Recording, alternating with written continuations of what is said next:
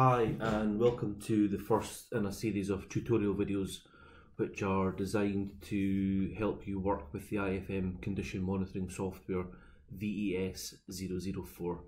Um, this first short tutorial video um, we're going to show you how to make a connection to a hardware device and the hardware device that we will use in this instance is the, the VSE002 diagnostic module once you've opened the the software from your hard drive, the the .exe file, you should see what I, we're looking at now, which is basically the, the blank template of the the, the software. Um, to start a new project, if you up at the project here, just click on it, new, and then we can give the project a name. And if we OK that, that now puts over to the left here this um, the, the start of the test project. What we need to now do is tell the project which hardware device or devices will form this project.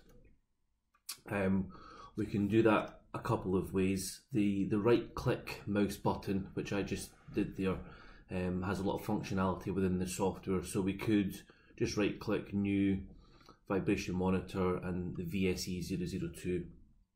Or if we want up the top here, just a left click device new and it's the VSE 002.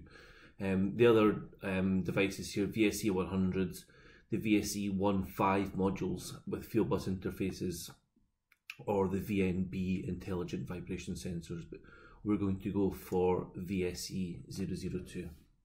And that's now added a VSE 002 to the project here.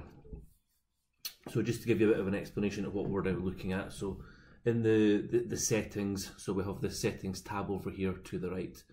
Device settings, so if I just click on device, um, we're not connected to anything yet, but this, when we were, would give you the versions and serial numbers and MAC addresses.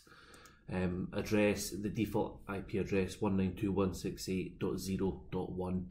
Um, if we wanted to change anything, this is where we would do it down the bottom here and this icon here um, allows us to change the, the IP address of the, the module that we're connected to.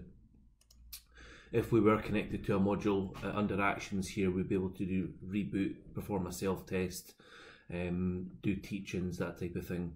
Um, security, this is where we can set different password levels. So depending on the, the person that's connecting to the system, um, you can choose what functions they can or, or can't do and test is where if we were connected we could actually force the outputs or turn the LEDs on the front of the module on and off.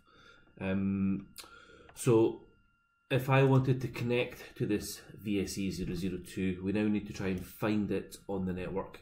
So um, when we have it connected here if I just right click and if I do scan network what it does is bring this scan network window up and it's actually found one, um, the one that I'm connected to, with the default IP address there. Um, if you were trying to connect to one that didn't have the default IP address that was on your network, you can go to the Search Networks tab here and actually type in the IP address or IP addresses that you're trying to find. Um, depending on the I, the administration rights that you have, uh, you don't need to actually know the full IP address. You could just, for example, 0.0.0.0. If I scan to find that, and it also finds the, the same one. So I now need to assign this uh, VSE002 to the, the project that we're creating. So an easy way is just to right click, assign, and if I now come over here and right click on VSE002 and click connect. And I now have a connection here. You can see just to the left here there is a, a little green tick shown. So that's showing that I now have a, a, good connection to the device. And if I come back to device settings, it gives me information like um, the serial number, the MAC ID, um, what version of firmware, etc. we're writing. If any firmware updates would be done here as well, and the, the various information like changing IP addresses also. Um, so that's really as, as, simple as it is to make a connection to the first device. Um, There will be a, a series of other videos following on from this about how to create parameter sets, um, how to analyze data, etc. Uh, but thank you for your time watching this first video.